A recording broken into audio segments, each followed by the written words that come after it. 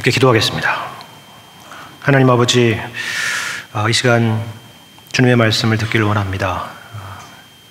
우리에게 말씀해 주시고 저희들의 우둔한 마음들을 열어주시고 깨우쳐 주셔서 주님의 귀한 뜻을 깨달아 알 수 있도록 성령께서 함께하여 주옵소서 온전히 주님께 부탁드리며 예수님의 이름으로 기도합니다. 아멘. 네, 오늘 우리가 함께 읽은 본문의 말씀은 네, 우리가 어, 이전에 앞서 살폈던 히브리서 1장과 2장 어, 그 앞의 내용들을 어, 정리하는 말씀이자 동시에 앞으로 전개될 3장 이후의 말씀을 준비하는 그런 본문의 말씀입니다. 우리는 1장에서 천사보다 뛰어나신 예수님에 대한 얘기들을 함께 나누었습니다. 그분은 모든 세계를 지으신 분이시고 또 모든 만물을 붙들고 계시는 분이시고 하나님의 영광의 광채이시고 또 그 본체의 형상이라 말씀했습니다. 그분은 초월이시고 또 절대자이시고 어, 지존자이시라 했습니다. 그런데 왜 그분이 이 피조물 중에 하나인 천사와 비교가 되고 있느냐? 그것은 역설적으로 그렇게 비교될 수밖에 없는 모습으로 우리 가운데 등장하셨고 나타나셨기 때문이라 했습니다. 그렇다면 그렇게 비교될 수 있는 모양이라는 것은 어떤 모양이냐? 그것은 바로 우리와 똑같은 우리와 같은 우리와 같이 혈과 육을 지닌 그런 인간의 모습이라 했습니다. 그러면 왜 그러한 인간의 모습으로 우리 가운데 오셨느냐? 그것은 바로 인간인 우리를 죄에서 구원하시기 위해서 그렇게 하셨다 하는 것입니다. 그래서 히브리서는요 처음에 아, 예수님이 누구신가 하는 그 예수님의 존재론적이고 또 기독론적인 그런 주제에서 2장으로 넘어와서는 어, 점차적으로 구원론적인 주제로 우리도 모르는 사이에 그 내용들이 서서히 바뀌어가고 있다는 것을 우리는 확인할 수가 있었습니다. 물론 여기에도 어, 이 2장의 내용의 말씀에도 예수님이 누구신가 하는 그 이야기는 계속되고 있습니다. 그러나 앞서서 봤던 1장의 내용과는 조금 어, 다른 방식입니다. 초월과 영원에 계신 예수님, 능력과 권능의 아들에 대한 이야기에서 낮아지신 예수님, 우리와 같이 되신 예수님에 대한 이야기로 전환되고 있기 때문에 그렇습니다. 그러나 성경이 하고 싶은 이야기는 예수님께서 우리를 이렇게 찾아오신 이 사건, 예수님의 이 낮아지심을 통한 이 구원이라는 것이 우리에게 얼마나 큰 것이냐, 바로 그것을 말하고자 하는 것입니다. 그래서 히브리서 2장 3절에서는 이를 가리켜서 이같이 큰 구원이라고 말하고 있는 것입니다. 이같이 큰 구원을 등한히 여기면 어찌 그 보응을 피하리요? 라고 그렇게 엄중하게 이야기할 만큼 누구라도 그렇게 이야기할 수밖에 없을 만큼 우리가 이 예수님을 통해서 받은 구원이라는 것은 역사적으로도 전무후무한 일이요. 놀라운 일이 아닐 수 없다라는 그 말을 했던 것입니다. 그러면 구체적으로 어떤 방식의 구원이기에 그가 이것을 이같이 큰 구원이라 이렇게 표현을 했는가? 그것이 바로 우리가 지난 시간에 살폈던 5절부터 오늘 마지막 18절까지 이어지는 그런 내용입니다. 한마디로 말하자면 예수님의 성육신에 대한 내용입니다. 예수님의 성육신이 바로 하나님께서 정하신 구원의 방식이라 하는 것입니다. 그러면 왜 이런 방식의 구원인가? 어, 다른 방식으로도 구원하실 수 있지 않는가 하는 생각이 들죠. 그것이 바로 오늘 이 시간에 그리고 지난 시간에 이어서 함께 살펴보려고 하는 그런 내용입니다. 우리는 이 질문의 답을 먼저 하기에 앞서서 왜 당시에 이런 설명이 필요했는가 하는 것을 우리가 생각해 볼 필요가 있습니다. 여러분은 여러분이 받으신 구원에 만족하십니까? 아니면 불만이 있습니까? 뭐 이런 질문 자체가 되게 무시무시한 질문이라 답을 할 수가 없을 것 같고 설령 불만이 있다 할지라도 괜히 불만이 있다고 얘기했다가 이 이야기를 하나님이 들으시고 내 구원을 취소하시면 어떡하나 이런 생각이 들어서 아무 말을 못하고 있다라고 저는 생각을 하겠습니다. 그런데 우리가 지난번 어, 광야에 대한 이야기를 했듯이 사실 우리는 구원 자체에 대한 불만이 아니라 어, 우리가 구원받은 현실이 왜 이와 같은가 하는 것에 대한 불만이 있는 것입니다. 그러면 당시에 히브리서를 읽었던 최초의 독자들, 이 히브리서의 설교를 처음 들었던 히브리서의 최초의 독자들은 어땠을까요? 그들은 그들이 받은 구원에 대해서 만족했을까요? 아니면 불만족스러웠을까요? 힌트는 앞서서 제가 말씀드린 히브리서 2장 3절 말씀 안에 담겨 있습니다. 뭐라고 했었죠? 우리가 이같이 큰 구원을 등한히 여기면 어찌 그 보응을 피하리요? 라고 했습니다. 여기 등한히 여긴다 라는 것은 소홀히 여긴다, 무관심하다 이런 말입니다. 뭐 대조적인 표현이죠. 큰 구원과 그것을 등한히 여기고 소홀히 하는 것. 구원이라는 것을 이같이 등한히 여기고 소홀히 한다는 것은 내가 받은 구원이 지금 현재 나의 삶에 그렇게 큰 의미나 큰 역할이 없다라고 생각하는 그런 생각의 반증일 것입니다. 그것을 읽은 것이죠. 여러분이 예전에 누군가한테 받은 선물이 있다고 어, 생각을 해봅시다. 그 선물이 지금 어디 있습니까? 물론 지금도 그것을 유용하게 쓰는 선물이라면 어, 기억하고 있을 것입니다. 아, 이 선물을 누가 주었지라고 생각하며 쓸 때마다 그것을 고마워하고 감사하는 마음이 있을 겁니다. 그런데 그 선물이 나에게 별로 어, 유용하지 않고 한다면 어, 그것은 우리가 그게 어디에 있는지도 모르는 것 같습니다. 그렇죠? 그게 소홀히 여기고 등한히 여긴다라는 그런 의미입니다. 지금 당장에 나에게 가치가, 아, 가치가 없다고 생각하기 때문인 것입니다. 처음부터 그랬을까요? 그렇지 않았을 것입니다. 그러나 시간이 지나면서 이 히브리서 독자들은 어, 여러 가지 핍박과 고난을 겪으면서 그리고 한때 그들이 몸담았던 유대 공동체의 사람들로부터 오는 그런 배척과 오해와 그리고 무시들을 받으면서 또 여러 가지 크고 작은 이유들 때문에 그들이 받은 구원에 대한 감격과 은혜들이 어느 순간 점점 차차 식어져 갔을 것입니다. 그 구원이 나에게 도대체 무슨 의미가 있나 하는 생각을 했을 것입니다. 우리는 그렇게 대단한 존재들이 아니죠. 우리는 생각보다 훨씬 눈에 보이는 것에 많은 영향을 받는 사람입니다. 이것을 부인할 사람은 아무도 없습니다. 그렇지 않습니까?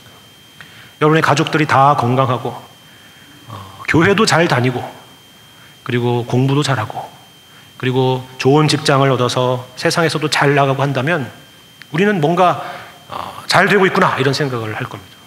교회도 마찬가지죠.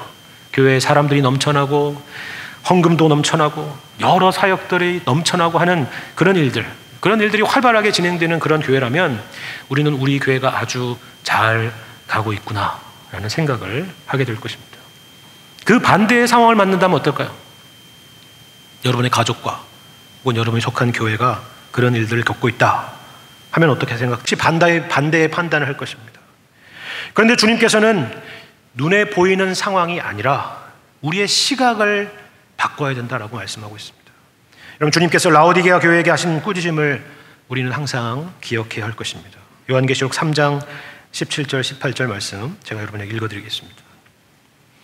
내가 말하기를 나는 부자라 부요하여 부족한 것이 없다 하나 내 곤고한 것과 가련한 것과 가난한 것과 눈먼 것과 벌거벗은 것을 알지 못하는도다. 내가 너를 권하노니 내게서 불로 연단한 금을 사서 부요하게 하고 흰 옷을 사서 입어 벌거벗은 수치를 보이지 않게 하고 안약을 사서 눈에 발라보게 하라 말씀입니다. 어, 이 라우디가 교회의 현실은 히브리서 독자들의 현실과는 정반대에 있는 것을 알 수가 있죠. 어, 히브리서 독자들은 도리어 라우디의 교회와는 달리 큰 환란 가운데 있었습니다. 그러나 우리 주님이 말씀하시는 처방은 라우디게아 교회나 이 히브리서 독자들이나 동일한 것입니다. 그것은 무엇입니까? 그것은 우리의 육신의 눈이 아니라 믿음의 눈을 가지라 하는 것입니다. 히브리서 독자들이 당시에 경험한 현실이란 어떤 것일까? 우리가 뭐 구체적으로 다 살필 수는 없겠지만 어, 영적인 의미에서 이러한 어려움들이 있지 않았을까? 이런 고민들이 있지 않았을까라는 것을 우리가 유추해 볼 수 있는 말씀이 있습니다. 바로 8절 말씀인데요. 우리 8절 말씀을 보시면 이런 말씀이 있습니까? 여러분 이 말씀을 통해서 어떤 상황이 어떤 마음의 영적인 고민과 어, 이 생각들이 있었는지 좀 생각해 보시기 바랍니다. 만물을 그 발 아래 복종하게 하셨느니라 하였으니 만물로 그에게 복종하게 하셨은즉 복종하지 않은 것이 하나도 없어야 하겠으나 지금 우리가 만물이 아직 그에게 복종하고 있는 것을 보지 못하고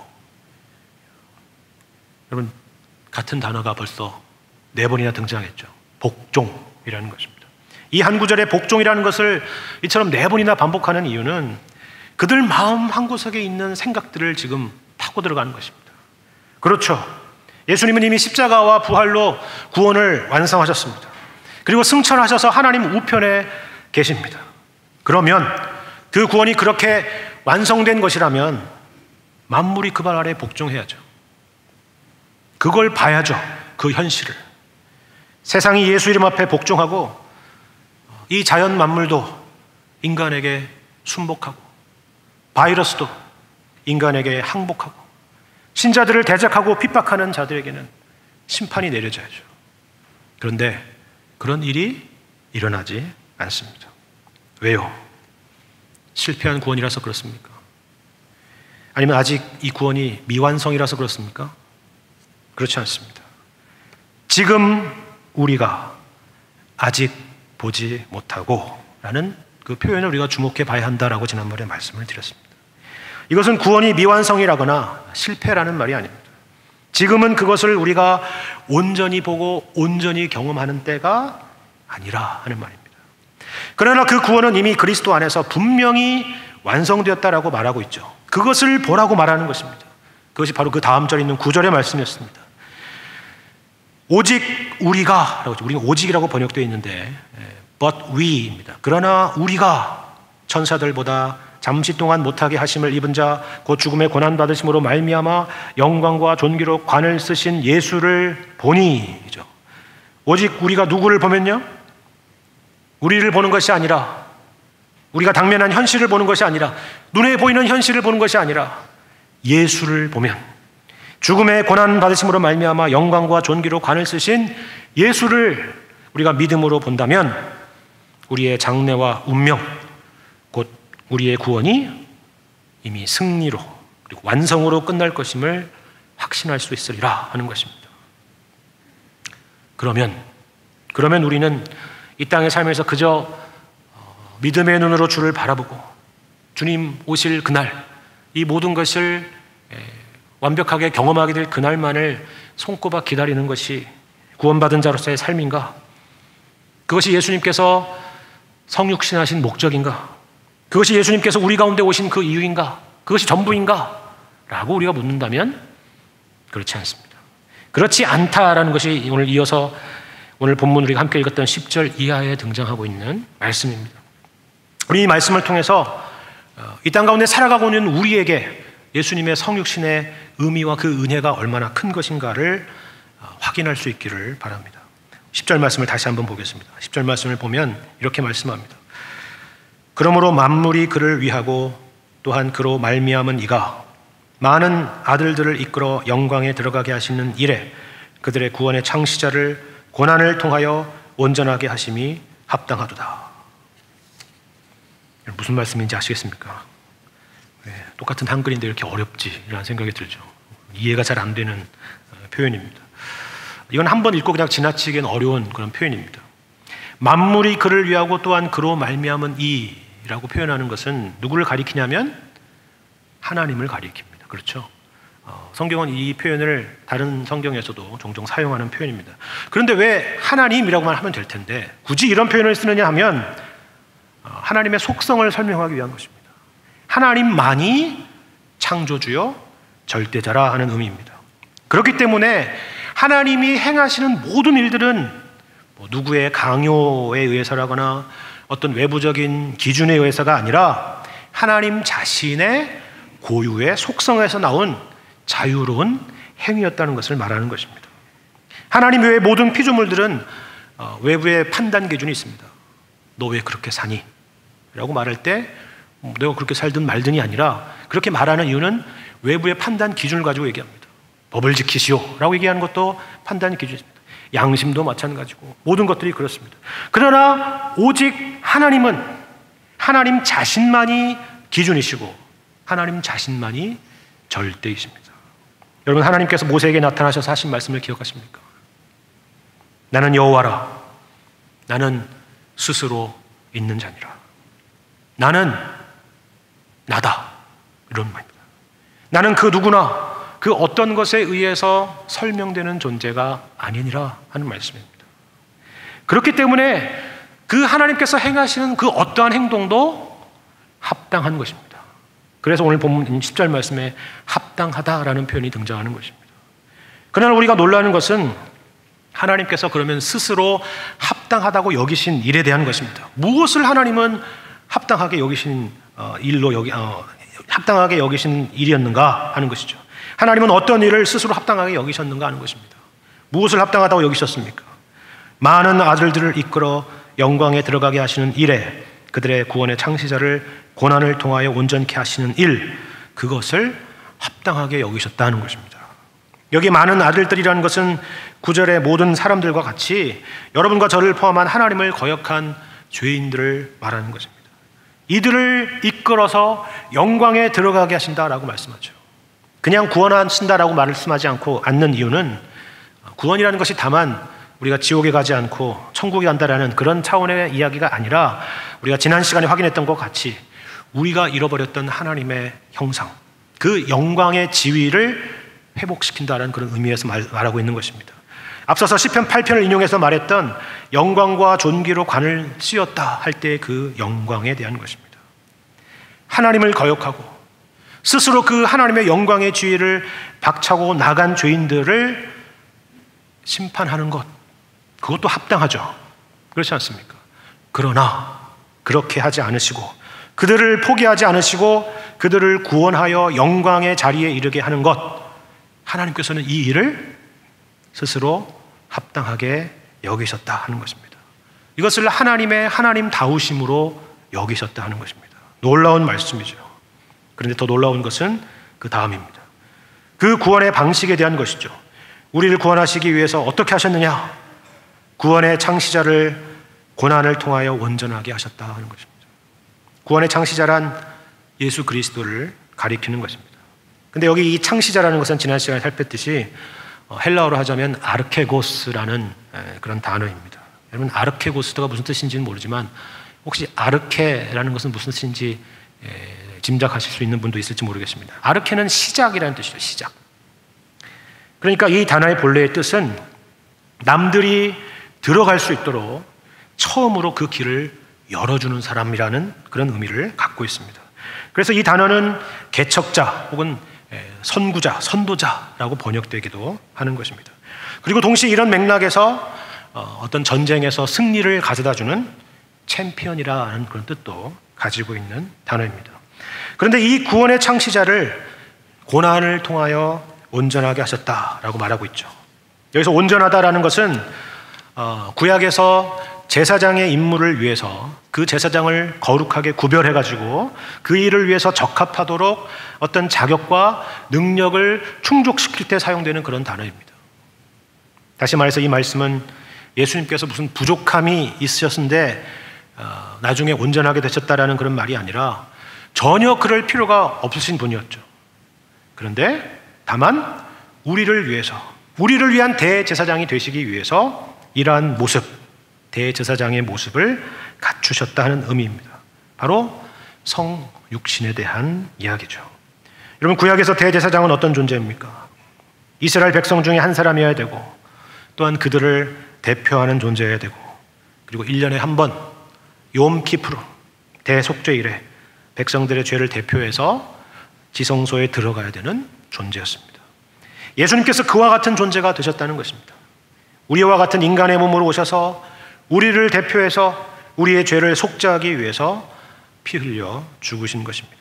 그것이 바로 고난을 통하여 온전하게 하셨다 하는 말입니다. 여기서 고난이란 단지 어떤 고난을 당했다는 의미가 아니라 십자가에서 죽으셨다라는 그런 의미를 담고 있는 것입니다. 이것을 합당하도다 라고 말하죠. 합당하도다. 이와 같은 구원의 방식을 하나님이 원하셨다 하는 것입니다. 이것이 곧 하나님의 성품과 일치하는 방식이었다는 것입니다. 로마서의 표현으로 하자면 이것이야말로 하나님의 의로우심이었다 하는 것입니다. 이것은 정말 놀라운 말씀이죠. 우리가 이러한 은혜를 받은 것입니다. 그런데 다만 그 방식만 놀라운 것이 아닙니다. 오늘 본문 말씀은 예수님께서 성육신 하셔서 우리를 위해서 피 흘려 죽으셔서 우리를 구원하신 것이 다만 우리가 장차했을 구원의 방법으로만 허락된 것이 아니라고 말씀하고 있습니다. 오늘 우리가 살아가고 있는 이 현재 삶 가운데 이 성육신하신 예수님께서 이러한 은혜를 주신다라고 이어서 말씀하고 있는 것입니다. 우리 11절 이하의 말씀을 제가 한번 다시 읽겠습니다. 11절 이하의 말씀.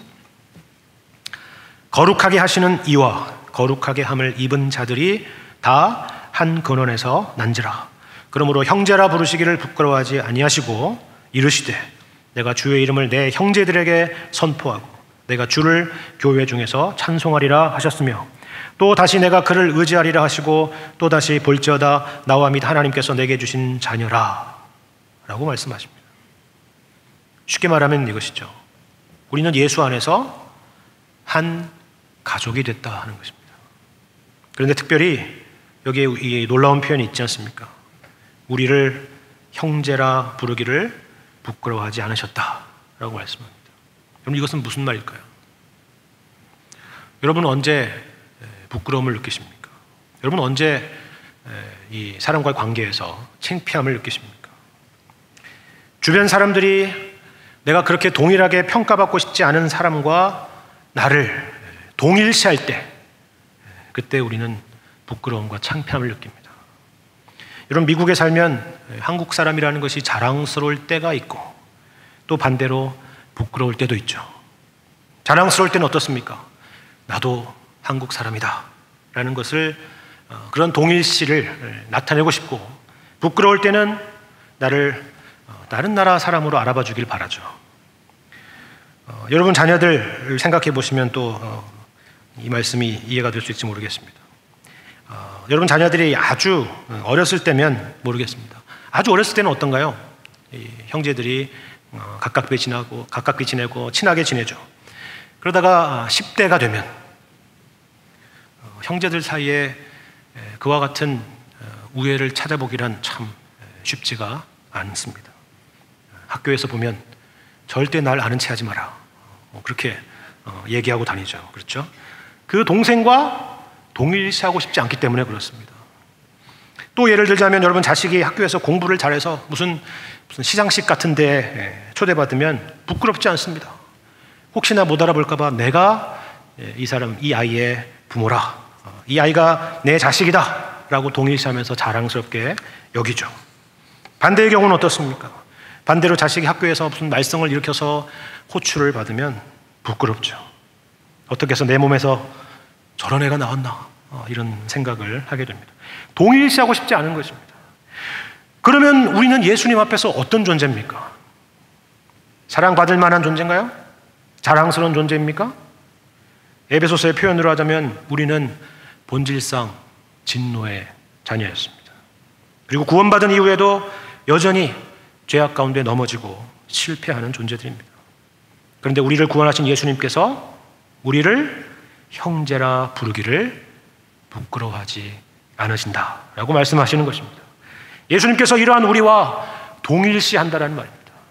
동일시한다는 것은 책임을 진다라는 말입니다. 책임을 진다는 말은 사랑한다는 말의 또 다른 표현이기도 한 것입니다.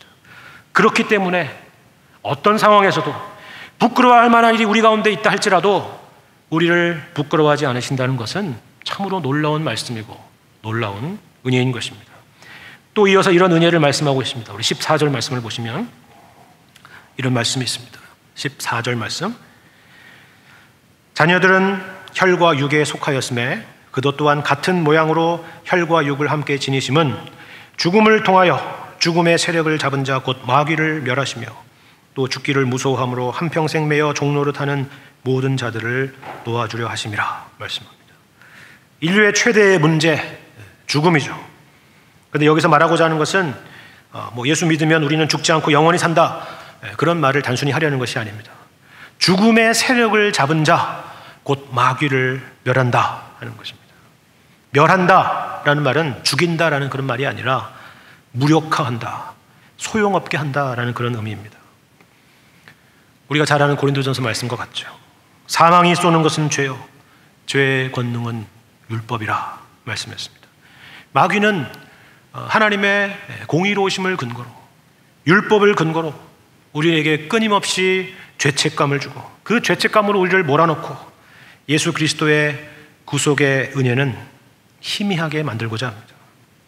그러나 예수님은 우리와 같은 혈과 육으로 오셨습니다. 왜 육과 혈이 아니라 혈과 육이냐? 왜 피가 먼저 나왔느냐 하면 주님의 대속적인 죽으심, 우리를 위한 대속적인 피 흘리심, 우리를 위한 희생을 일깨우려는 것입니다. 그렇기 때문에 사단이 우리를 정죄할 때마다 우리는 그렇구나. 나는 이제 틀렸구나. 라고 생각하거나 아, 앞으로는 그러면 다시는 죄 짓지 말고 살아야지. 그런 생각을 하는 것이 아니라 그래서 그렇기 때문에 예수님이 나를 위해서 피를 흘리셨다. 라는 것을 기억하고 고백해야 합니다. 사망아 너의 승리가 어디 있느냐? 사망아 내가 쏘는 것이 어디 있느냐? 우리 주 예수 그리스도로 말미암아 우리에게 승리를 주시는 하나님께 감사하노라.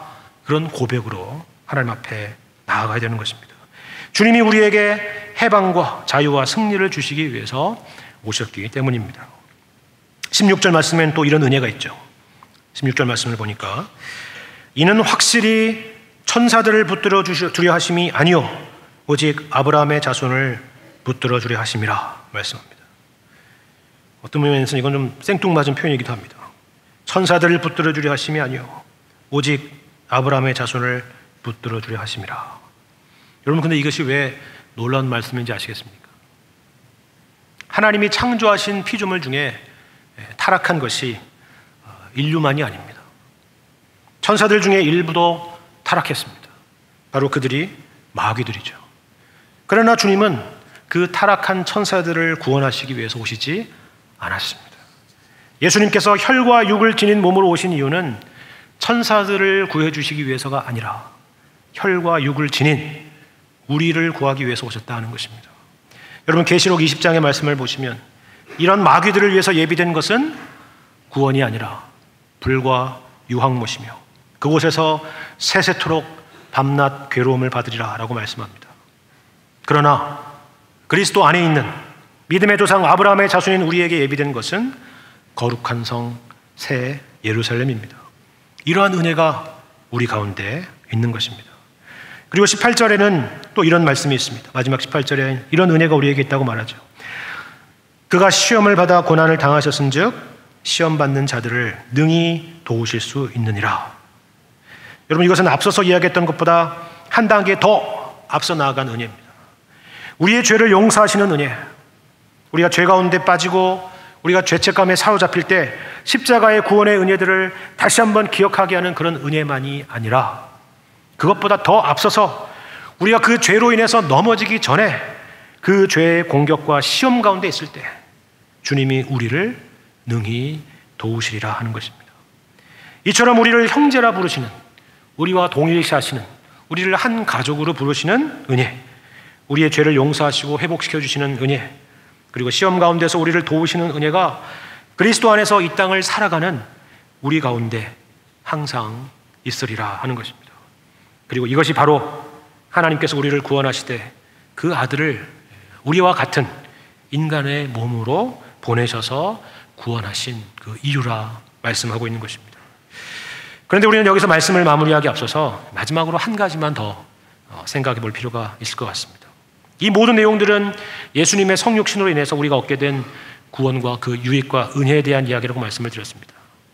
하지만 그뿐만이 아니라 거기에는 동시에 우리에게 요구되는 하나님의 거룩한 요구와 책임이 있다는 사실을 기억할 필요가 있습니다. 예수님이 우리와 같이 되셨다라는 것은 동시에 또한 무슨 말입니까? 우리 또한 그와 같이 되었다라는 말입니다.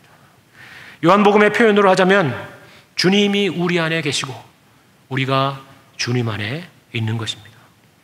신이 되었다는 말이 아니라 그분의 성품과 인격을 본받고 따르는 것입니다. 그분의 것을 우리의 것으로 삼는 것입니다. 주님이 우리를 부끄러워하지 아니하신 것처럼 우리도 주님의 낮아지심과 고난과 십자가를 부끄러워하지 않는 것입니다. 왜냐하면 우리는 그리스도 안에서 한 형제요, 한 가족이기 때문에 그렇습니다. 이런 의미에서 예수님을 가리켜서 구원의 창시자라 10절에서 그렇게 말씀하고 있는 것입니다. 두 가지 의미가 있다고 말씀드렸죠. 하나는 챔피언이라는 의미가 있고 또 다른 의미는 선구자요 개척자라는 의미가 있다고 말씀을 드렸습니다.